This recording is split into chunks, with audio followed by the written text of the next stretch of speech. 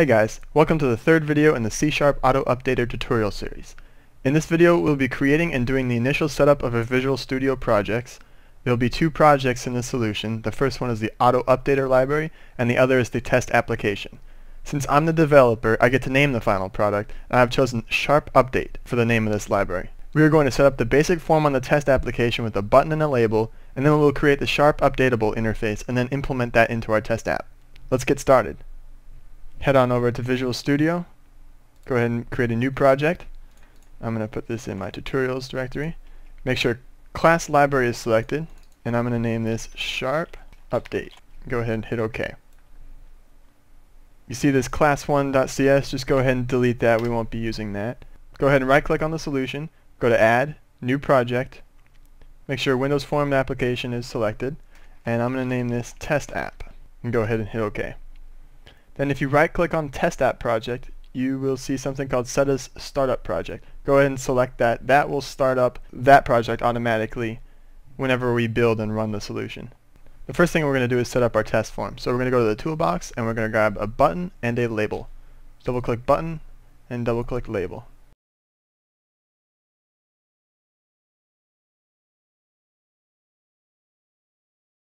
Then let's double click on the button just to register the handler for the click event. We aren't going to write any code in this yet, but we're going to come back to this later. The next thing we're going to do is create our Sharp Updatable interface. So that will be in the Sharp Update library. Right click on Sharp Update Project, go to Add, New Item, click on Interface, and then type your interface name. It's going to be I Sharp Updatable.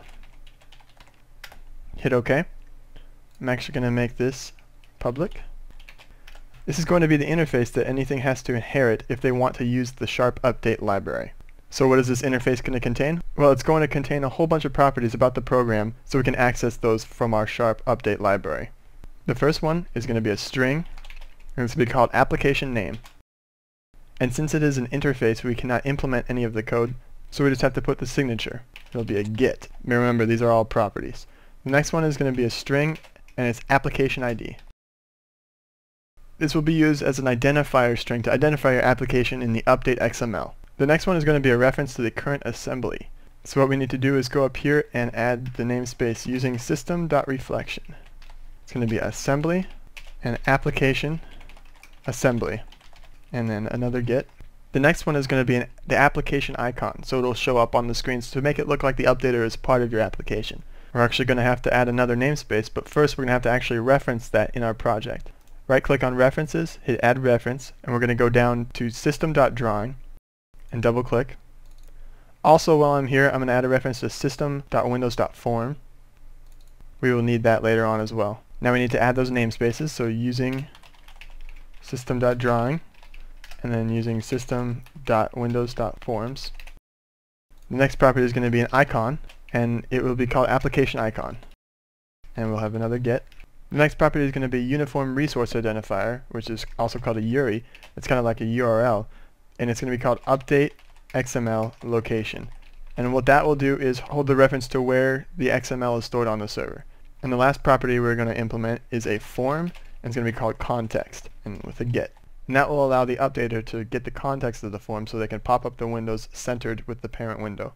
Now that we have created our Sharp Updatable interface, let's go ahead and implement that in our test application. The first thing we need to do is go to our references on our test application and hit Add Reference. Then we're going to go up here to Projects and double click on Sharp Update and then we'll add a reference to our Sharp Update project.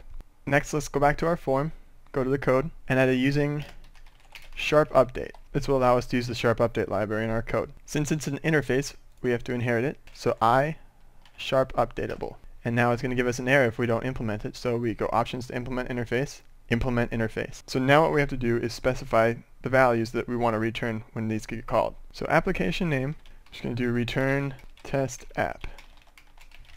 For the application ID, it can be anything, a unique identifier for your application. Should be the same in your update XML. So I'm just going to do return test app again.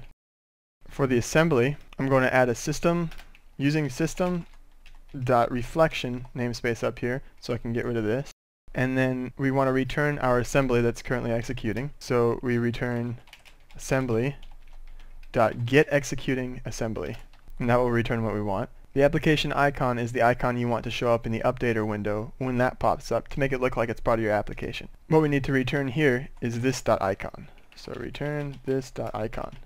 And that will return the icon that's part of your application already. The resource identifier, what we want to do right here is return a new URI with the location of our update XML. Right now, I don't have to implement that because we haven't even started that yet. And for the context, we need to return this because it is a form. The last thing we're going to do is make the text of the label in the center of the form equal to the version number of the application that we're currently running. And we can do that in the constructor right here. So this dot label1 dot text equals this application assembly dot get name dot version dot toString. I know that's a long one, but that's what it's going to do. If we go ahead and run this application right now, it's on my other monitor, we will see that it is 1.0.0.0, which is the current version number. That's it for this video. In the next video, we will be starting on the Sharp Updater class, which will be the main class that runs the update functionality. Be sure to hit the like button if you like this, and subscribe if you haven't yet, and I'll see you in the next tutorial.